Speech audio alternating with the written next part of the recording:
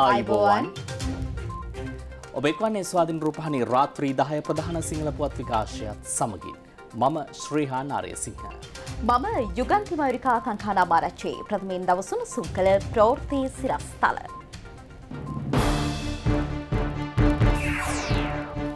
Gas cylinder පිපිරීමේ වාර්තාව Moratuwa campus එකට. මද්‍රසාවට මුවා වූ ජාවාරම් ගැන මුස්ලිම් සමාජයෙන් හෙළිදරව්වක්.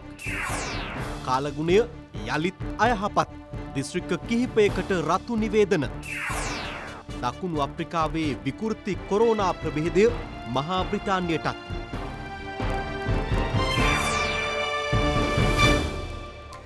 ගෑස් සිලින්ඩරවල සංයුක්තිය පරීක්ෂා කිරීම සඳහා කනිජ තෙල් සංස්ථාවට යොමු කළ ගෑස් සාම්පල් දෙකෙන් එක් වාර්තාවක් තමන් වෙත ලැබී ඇති බව රාජ්‍යමාත්‍ය ලසන්ත අලගියවන්න මහතා පවසනවා. කෙසේ වෙතත් එම වාර්තාව මේ වන විට මොරටුව විශ්වවිද්‍යාලය වෙත යොමු කර ඇති බවයි රාජ්‍ය අමාත්‍යවරයා සඳහන් කළේ.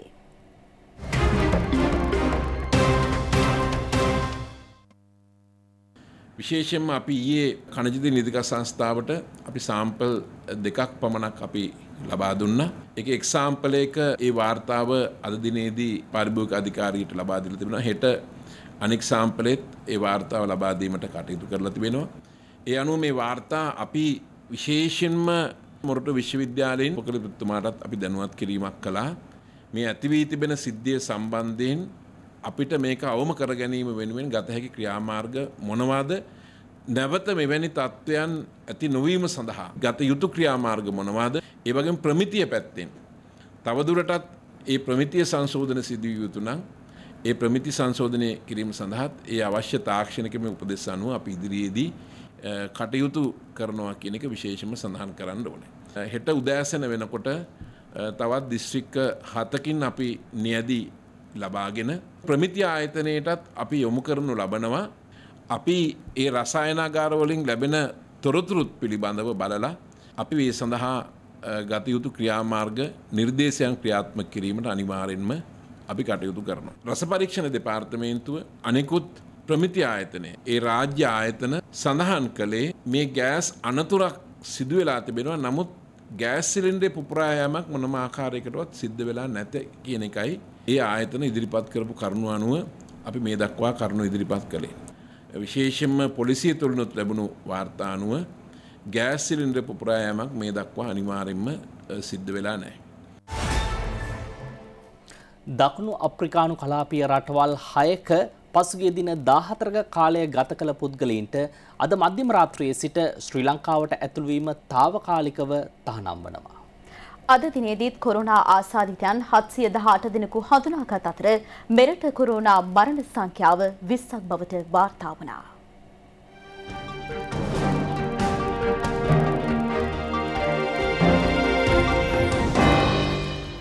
සෙබිල් ගුවන් සේවාධිකාරයේ සභහපති උපුල් ධර්මදාස මහතා පැවසුවේ දකුණු අප්‍රිකාවෙන් මුල්වර්ට හඳුන්වාගත් ඔමිකරුන් නැමති කරුණා ප්‍රභේතය නිසා මෙම තීරණය ගත් බවයි. දකුණු අප්‍රිකාව නැමීබියාව සිම්බාබ්වේ බොඩ්ස්වානා ලෙසතෝ සහ ස්වාසිලන්තය සිට පැමිණෙන පුද්ගලින්ට මේ අනුව ශ්‍රී ලංකාවට ඇතුළවීම තාවකාලිකව තහනම් වනවා. පසුගේ දින දාහතරක කාලය තුළදී එම රටවල සිට පැමිණි අයි සිටි නම් නිරෝධායන්ට යොමු වන ලෙසයි සිවිල් ගුවන් සේවාධිකාරය ඉල්ලීමක් කරන්නේ. සෞඛ්‍ය අධ්‍යක්ෂ ජනරල්වරයාගේ නිර්දේශ අනුවයි මෙම තහනම ක්‍රියාත්මක වන්නේ. ලෝක සෞඛ්‍ය සංවිධානය මගින් මේ වන විට පස්වෙනි වෛරස් ප්‍රභේදයක් නම් කරලා තියෙනවා ඔමික්‍රෝන් කියලා මේ වේරියන්ට් of concern කියන ගණයට අන්තර්ගත කළා. මේ දක්වා ලෝපුරා මේ ගණයට අන්තර්ගත වෙන වෛරස් ප්‍රභේද පහක් තමයි තිබ්බේ. ඒ කියන්නේ ඇල්ෆා, බීටා, ගැමා, ඩෙල්ටා. ඒ පස්වෙනි එක විදිහට තමයි මේ ඔමික්‍රෝන් අන්තර්ගත කරලා තියෙන්නේ. ඉතින් මේ දකුණු අප්‍රිකාවෙන් තමයි මේක මුලින්ම වාර්තා වුණේ. දැන්ට තියෙන වාර්තා අනුව දකුණු අප්‍රිකාවේ හොයාගෙන තියෙන ප්‍රභේදය තමත් වේගයෙන්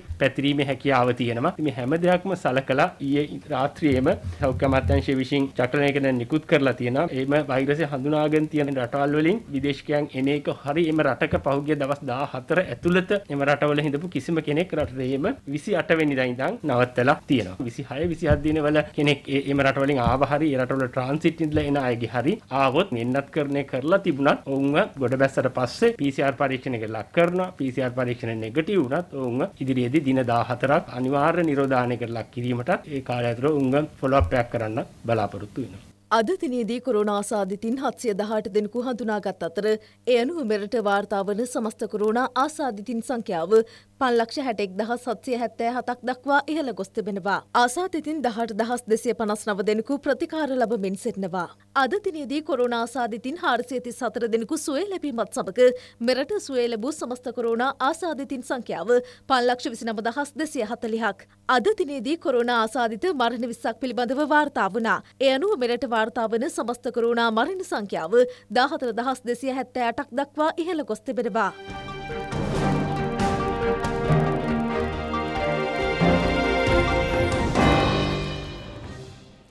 මද්‍රසා පාසල් නාමයෙන් සිදු කරන විවිධ වංචනික ක්‍රියා සහ දූෂණයන් අත්හිටුවීමට වහා මැදිහත් වී යුතු බව දූෂණ හා වංචා පිළිදැකීමේ ව්‍යාපාරයේ සභාපති මුනාබුණු බර්දීන් මෞලවිතුමා පවසනවා.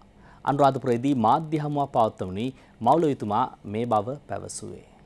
මේ තමා අර මද්‍රසා එකේ නිර්මාතෘවරයා. ඔහුගේ සත්‍යයේ පාස්පෝර්ට් එක තමයි මගේ අතේ මේ තියෙන්නේ. ව්‍යාජ පාස්පෝර්ට් එක තමයි මේක. ඔහුගේ අම්මා කියලා එක්කෙනෙක්, ඔහුගේ තාත්තා කියලා තව එක්කෙනෙක්ට මෙන් ඔහු ඩෙන්ටි හදලා තියෙන්නේ. ඔහුගේ තුන්වෙනි අධීර වෙලා තියෙන්නේ මුළු ගමටම අයිස් මද්‍රව්‍ය, ගංජා මද්‍රව්‍ය, හෙරොයින් මද්‍රව්‍ය බෙදා හරිනවා. මද්‍රසා පාසල ඇතුලේ ඔහු අයිස් භාවිතා කරන විදිය. මාත් එක්ක තරහ වෙන්න එපා. මේක හෙළිදරව් කරනවයි කියලා අනිවාර්යයෙන්ම හෙළිදරව් කරන්න ඕනේ එව්වා. අනිවාර්යෙන් හෙළිදරව් කරන්න ඕනේ.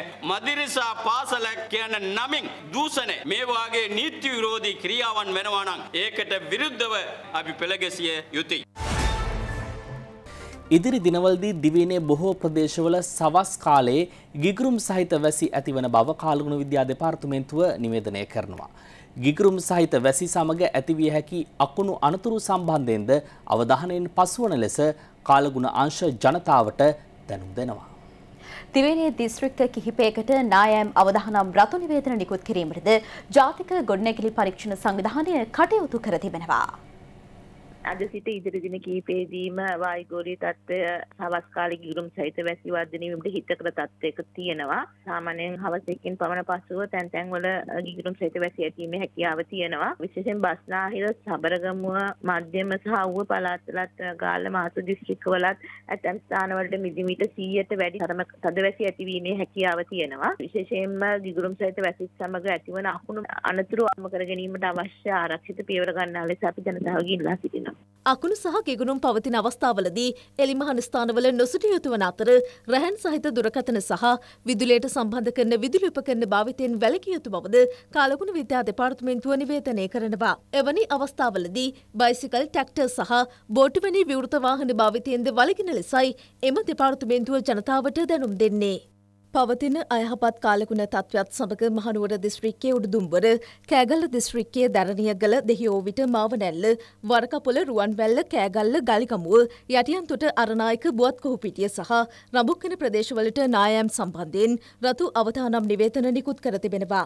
කුර්නෑගල දිස්ත්‍රික්කයේද මාවතගම සහ පොල්ගහවෙල ප්‍රදේශවලට නායම් පිළිබඳ රතු අවධානම් නිවේදන නිකුත් කෙරුණා. ගලිගමු රුවන්වැල්ල මාර්ගයේ දෙවන කිලෝමිටර් කණු අසල නායාමකින් නැවත දැනුම් දෙනතුරු මාර්ගය සම්පූර්ණයෙන් වසා දමා තිබෙනවා.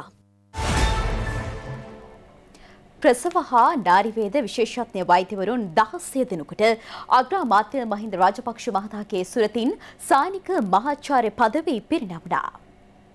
ප්‍රසව හා නාරිවේද විශේෂඥ වෛද්‍යවරුන්ගේ විද්‍යායතනය පනස් හතරවැනි වාර්ෂික සම්ලිවේදී මෙම සායනික මහාචාර්ය පදවී පිරිනැමීම සිදු කෙරුණේ. WI Amarasinghe Erandi Samarakoon M Sadanandan SLF Akbar SK Ranaraja Sanath Lanerolle SB Ekanayake Gowri Senthil Nathan S. Sivasumithran Rani Seethamba Pillai දර්ශනද Silva එම්මින් ජිෆ්‍රී ටී කටොඩ් ගජන් ක්‍රිෂාන් සෙල්වා නිශේන්ද්‍ර කන්වාරත්න HMJN හේරත් යන මහත්ම මහත්මීන්ට මෙලෙස සායනික මහාචාර්ය පදවි හිමි වුණා. මහාචාර්ය ඩී.ඒ. රණසිංහ අනුස්මරණ දේශනයේ පවත්වනු ලැබුවේ මහාචාර්ය එස්.එච්. දොඩම්පහළ මහතා විසිනුයි. මෙම අවස්ථාවට අමාත්‍ය කෙහෙලි රඹුක්වැල්ල අග්‍රාමාත්‍ය බිරිඳ ශුරන්ති රාජපක්ෂ යන මහත්ම මහත්මින් ඇතුළු පිරිසක් එක්ව සිටියා. රටේ පවතින වත්මන් දේශපාලන තත්ත්වය සම්බන්ධයෙන් දේශපාලන නියෝජිතීන් කිහිප දෙනෙකු අදත් ස්ථාන කිහිපයකදී විවිධ අදහස් පළ කළා. ආණ්ඩුව පිහිටවල අවුරුදු දෙකකට වැඩි සහෝදර පක්ෂ 12 සමග කවර හෝ සාමූහික සාකච්ඡාවක් ඇති වෙලා නැහැ. ඒ වෙනුවට සහෝදර පක්ෂවලට කෙනෙහිලිකම් කිරීම, අවලාද නැගීම, මඩ ගැසීම, චෝදනා කිරීම, බැයිනම් බහලා යන්නේ කියලා කියන අවලාදාත්මක ප්‍රකාශනිකුත් කිරීම හැර සවන්දීමේ ක්‍රියාවලියක් සිද්ධ වෙන්නේ නෑ. විශේෂයෙන්ම පසුපෙළ මන්ත්‍රීවරුන් ලවා මේ ප්‍රකාශ කරනවා. මහින්ද රාජපක්ෂ ජනාධිපතිතුමා මැදපති කියපු දෙයක් තමයි සැලොන් දොර ඇරලා තිනවා එන්නත් පුළුවන් කාටද යන්නත් පුළුවන් කියලා. කවුරුත් එලවන්න එහෙම බලාපොරොත්තුවක් නෑ මේවා ඉතින් සන්දාන ආණ්ඩුවක් තුල එක එක්කෙනා කියව ගන්න දේවල්. ඒක සාමාන්‍ය දෙයක්. ඒ තරම්ම ගණන් ගත යුතු දෙයක් නෙමෙයි හැටියට මම දකින්නේ. ආර්ථික වශයෙන් අර්බුදයකට පත්වෙච්ච වෙලාවක දේශපාලන අර්බුදයකුත් නිර්මාණය කරගන්නවා නම් බලෙන් මේ රටට මොකද වෙන්නේ? රට අස්ථාවර කරන්නටත් ජනතාව අසරණ කරන්නටත් කරන කුමන්ත්‍රණයක්ද මේ. ඉදා මේ ගැන ජනතාව හැටියට හොඳට හිතලා බලන්නට ඕන. මාරුද 11ක් හිටියනේ සන්ධාන ලේකම්මන්ට පක්ෂ 14ක් එක්ක ඔය ප්‍රශ්න මුකුත් තිබුණේ නැහැ වෙලා. තිබුණේවා අපි පක්ෂ මට්ටමේ විසඳ ගන්නවා. අනිත් අයට පුළුවන් ඒක ආදර්ශයකට ගන්න ඕන. දැන් පක්ෂවල මිනිහක් තියෙන්න ඕනේ මේ ආණ්ඩුවක මිනිහක් තියාගන්න. ජනාධිපති ගෝඨාභය රාජපක්ෂ මැතිතුමාගේ සංකල්පයකට අනුව ඔබට ගයක් රටට හෙටක් ව්‍යාපෘතිය යටතේ අඩු ආදායම්ලාභී පවුල් සඳහා නිවාස ඉදිකිරීමේ වැඩසටහනක් කොළොන්නාව ප්‍රදේශයේදී ආරම්භ වුණා. කොළොන්නාව කොට්ටාශයේ අඩු ආදායම්ලාභී පවුල් දහයක් සඳහා මෙම ව්‍යාපෘති යටතේ නිවාස ඉදිකරනවා. ඒ සඳහා මුල්ගල් තැබීම නිවාස සංවර්ධන අධිකාරිය සභාපති දුමින්ද සිල්වා මහතා අතින් සිදු වුණා. මේ වන විට රෝගාතුරුව සිටින ගිල්රාජ් කෞශල්‍ය සම්පත්තෙන් හෝන් සහ සරත් චන්ද්‍රසිරි කලාකරුවන්ට මෙන්ම ලෝකවාසී ජනතාවට ආශිර්වාද පතා සෙත් පිරිස්සජ්ජායනයක් සහ අටවිසි බුද්ධ වන්දනාවක් අද පැවැත්වුණා.